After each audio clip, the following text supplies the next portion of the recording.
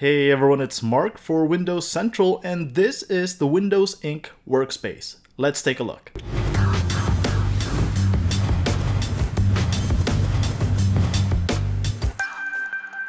So this feature was added in build 14328 for Windows Insiders. You can tap the Windows Ink workspace button in the system tray or create a shortcut with your pen in the settings.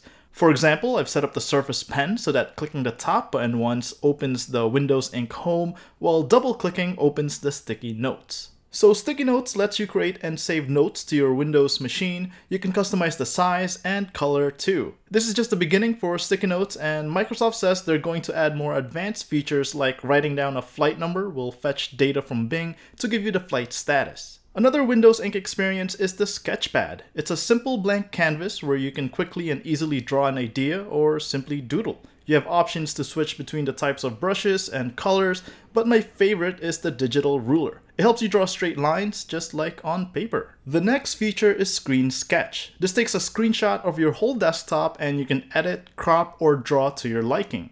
Just like the Sketchpad, you can easily save your creations or share them online like on Twitter or email. So that's a quick look at Windows Ink right now. The Windows Ink team says they're just getting started, so keep your eyes open for cool new features. That's all for now. I'm Mark. Thanks for watching.